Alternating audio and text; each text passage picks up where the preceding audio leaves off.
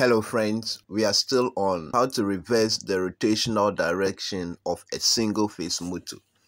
Okay, so in the previous video, I explained how that can be achieved.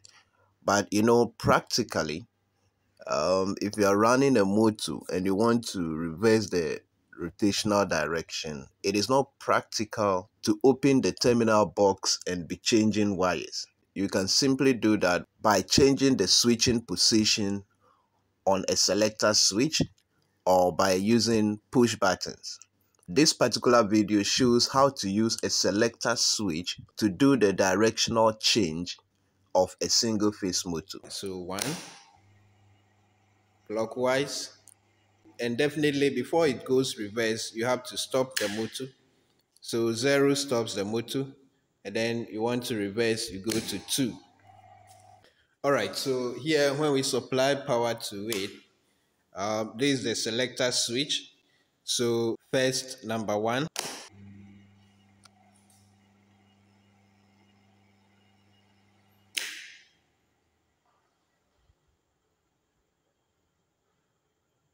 Then number two.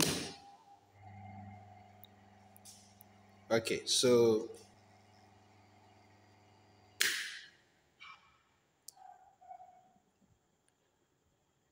one is clockwise and then two is anti-clockwise. So one clockwise. Before it goes reverse, you have to stop the motor. So zero stops the motor and then you want to reverse, you go to two.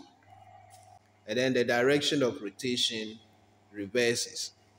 All right, so thank you very much for watching this video. Please, if you like what you have just watched, kindly give a thumb up and in case you have not yet subscribed, please kindly subscribe so you get notified when I post the next video.